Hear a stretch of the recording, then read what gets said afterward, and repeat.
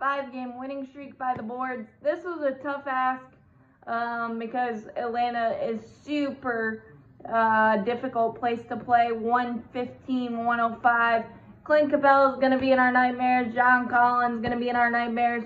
Uh, 22 and 15 for Capela. Rinse repeat on getting destroyed by Sinners.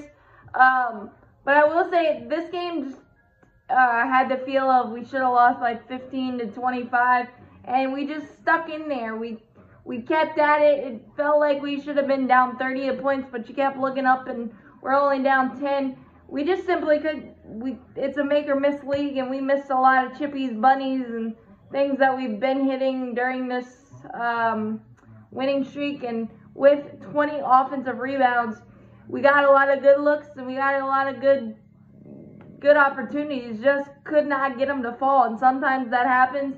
And uh, off of back to back, and the Hawks haven't played in three days. It's not a great combination, but I loved our fight. Uh, Miles Bridges doing Miles Bridges things, a career at 35 and nine rebounds to go with that. Uh, LaMelo Ball almost triple double. I think a rebound away. Uh, Cody Martin 16 off the pine.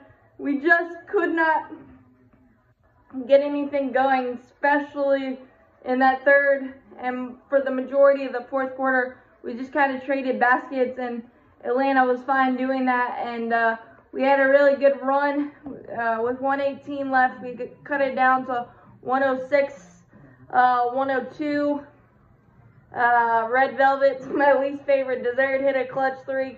Kevin Huerter and uh, Cam Reddish hit a clutch three after that really good defense, um, good closeouts. They just made shots. Um, and sometimes you just got to tip your cap, and that was the case tonight. We just we didn't get to the free throw line early on either, and our shots weren't falling, so that was a terrible combination. Uh, we were outshot 13 to 2 in the first half. We started to get there a little, a little better in the second half, but it just and we start and we fouled too much early on, and that's what's been getting us in trouble as well. Um, getting teams to get in their own rhythm early with at the free throw line. We got to stop fouling. We're playing good defense, but we got to play defense without fouling. Um, but I loved our fight tonight, and I honestly liked it better than last night, even though last night was a W.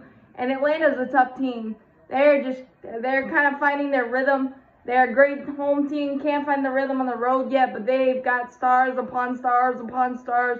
Trae Young did his thing. Like I said, we're we're we're a work in progress against bigs. We get destroyed by everyone, every single one of them. So I mean, it was just one of those games. But great fight.